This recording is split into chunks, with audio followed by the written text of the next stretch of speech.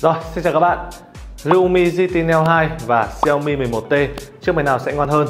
Đây là một câu hỏi mình nhận được ở trong phần comment của các video Bây giờ thì mình sẽ so sánh hai em nó Hy vọng là giúp các bạn đưa ra quyết định đúng khi lựa chọn một trong hai nhé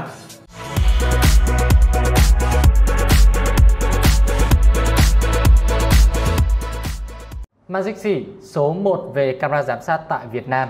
Mua camera giám sát Magic C giá rẻ nhất tới smartnew.vn. Rồi, đầu tiên là về mức giá các bạn nhé. Em Xiaomi 11T sẽ đắt hơn đâu đó khoảng 1,3 cho tới 1,5 triệu. Tuy nhiên, ưu điểm là đây sẽ là hàng chính hãng các bạn nhé. Còn GT Neo 2 sẽ chỉ là hàng sách tay mà thôi. Đó. Với hàng chính hãng thì các bạn sẽ có chế độ bảo hành tốt hơn này, khắp các tỉnh thành trên toàn quốc luôn. Còn GT Neo 2 hàng sách tay thì à, các bạn phải xem xem là cửa hàng các bạn mua ấy thì à, có chi nhánh tại những đâu, có tiện cho việc các bạn đem điểm bảo hành hay không. Đó, quan trọng nhá. Rồi và cũng liên quan tới hàng chính hãng nên là chiếc Xiaomi 11T cũng sẽ có sẵn tiếng Việt giống như chiếc Neo 2. GPS trên cả hai máy thì cũng sẽ ok các bạn nhé. Tuy nhiên cái phần à, độ trễ thông báo ấy thì à, theo mình thấy là chiếc 11T đang nhỉnh hơn tại vì à, em này ROM như kiểu là ROM Poco mà nó sẽ đỡ bị hơn thi thoảng thôi. Còn em Neo 2 thì mình thấy khá thường xuyên nhá, các bạn sẽ phải sống chung với lũ đấy. Với chiếc Neo 2 thì à, các bạn sẽ phải dùng một số thủ thuật như kiểu là cho chạy nền này hay là khóa đa nhiệm ấy thì mới hạn chế bớt phần nào chuyện chậm thông báo mà thôi. Nói chung là dùng nó sẽ tốn công hơn một chút. Ok, và nếu bỏ qua chuyện sách tay và chính hãng ấy thì sau đây sẽ là các yếu tố của hai chiếc máy này nhá.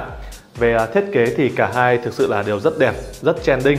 Tuy nhiên cái phần à, build của chiếc 11T theo mình thấy là ok hơn các bạn nhé bởi vì em nó sẽ có mặt trước là kính Victus này, khung thì cũng là kim loại, còn chiếc Neo 2 thì mặt trước chỉ là kính à, tinh tinh thế hệ thứ năm mà thôi, khung thì cũng chỉ là bằng nhựa, đó. Cộng với cả M11T sẽ có kháng nước, kháng bụi IP53 các bạn nhé. Mặc dù chỉ là kháng nước nhẹ thôi, nhưng mà dùng theo mình thấy là vẫn yên tâm hơn. Chẳng may các bạn có đi mưa ấy, thì cũng à, tự tin rút ra để nghe điện thoại hơn, còn là Neo 2 thì phải dùng cẩn thận nhá về màn hình thì kích thước của cả hai chiếc máy sẽ là tương tự nhau thôi, đều sẽ là Full HD cộng này, 120Hz. Chất lượng tấm nền theo mình thấy là cũng rất tương đồng, thực sự là rất khó để các bạn nhận ra được sự khác biệt, đều rất là ok trong tầm giá. Có chăng thì chiếc GT Neo 2 nó sẽ có độ sáng pick cao hơn một chút là 1003 thì phải Còn em 11T sẽ chỉ là 1000 mà thôi Nhưng mà cũng khó phân biệt lắm Nhưng mà tuy nhiên mình thấy có một điểm mà chiếc Xiaomi 11T sẽ hơn Đó là mặc định ấy thì em nó sẽ chạy ở tần số chạm cảm ứng là 240Hz nhưng mà khi cần thì các bạn có thể kích lên được là 480Hz bằng cách là cho cái ứng dụng vào trong game turbo ấy. Mình đã thử rồi. Còn với chiếc GT Neo 2 thì à, mặc dù là hãng quảng cáo tần số chạm cảm ứng lên tới là 600Hz nhưng mà mình test đủ trò làm đủ kiểu luôn thì tối đa chỉ lên khoảng 375Hz mà thôi. Không hiểu phải làm kiểu gì thì mới lên được 600 nữa hay là có một chút marketing hơi quá ở đây. Và cái phần à, cam selfie ấy, thì kích thước là tương tự nhau thôi tùy các bạn nhé các bạn thích để ở giữa hay là để bên trái? Đó. Ok, màn hình thì sẽ phải đi kèm với loa ngoài đúng không? Cả hai chiếc máy đều sẽ có hai loa stereo này, âm lượng lớn, chất âm ổn. Tuy nhiên, mình thấy M11T cũng sẽ nhỉnh hơn các bạn nhé Bởi vì cái phần loa phía trên ấy em nó sẽ được đặt ở phần khung máy Đó chứ không phải là tích hợp với cả loa đàm thoại trên chiếc GT Neo 2 thì à, nó giúp cho chiếc 11T có âm lượng loa trên và dưới đồng đều hơn. Nó không bị hơi lệch một chút như chiếc Neo 2 Và khi mình trải nghiệm ấy thì mình cũng thấy âm bass của chiếc 11T có phần rõ ràng hơn. Nói chung là chất âm theo mình thấy là nhỉnh hơn một xíu so với cả Neo 2 Rồi tới phần mà các bạn rất là quan tâm này về mặt hiệu năng nhá, thì uh, chiếc GT Neo 2 với con chip Snapdragon 870 chắc chắn sẽ hơn so với cả Dimensity 1200 Ultra trên chiếc Xiaomi 11T. Thực ra là chiếc 11T cũng không phải yếu đâu, rất mạnh đấy chứ. Ngoại trừ Genshin Impact Max Setting ra thì à, tất cả các tựa game đều sẽ chơi ngon. Nhưng mà khi so sánh với cả GT Neo 2 ấy, thì thực sự là vẫn thua. Khi chơi Genshin Impact Max Setting thì FPS trung bình của Neo 2 cao hơn và biểu đồ FPS cũng sẽ ổn định hơn so với cả 11T.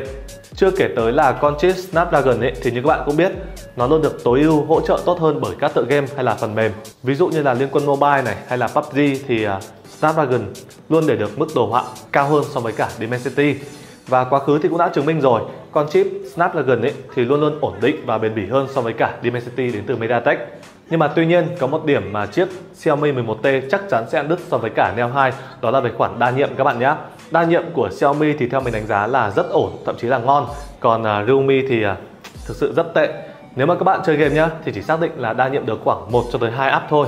Nhiều bạn thì cứ bảo với mình là Realme họ làm như vậy để tối ưu về mặt hiệu năng nhưng mà cái đấy chỉ là cãi cố thôi chứ còn nhiều hãng họ vẫn mạnh mà mà đa nhiệm vẫn tốt thế thôi như kiểu là iPhone này, Redmi này đa nhiệm vẫn ngon mà rồi, hy vọng là trong tương lai sớm thì uh, Realme sẽ khắc phục được vấn đề này. Rồi, tiếp tục là một điểm mà chiếc Xiaomi 11T sẽ hơn đó là về khoản camera. em nó sẽ có cảm biến chính là 108 megapixel. Kích thước cảm biến ảnh rất lớn nên là chụp thiếu sáng cực kỳ tốt luôn. Còn chiếc Realme GT Neo 2 sẽ chỉ có cảm biến chính là 64 megapixel mà thôi. Kích thước cảm biến cũng sẽ nhỏ hơn so với cả 11T. Đó, mặc dù thuật toán của Realme theo mình đánh giá ấy, là sẽ ổn hơn so với cả Xiaomi nhưng mà như vậy là không đủ để bù đắp lại khoảng cách về phần cứng. Cả hai chiếc máy thì đều sẽ không có chống rung quang học các bạn nhé Nên là khả năng quay video thì ở mức ổn đủ dùng thôi.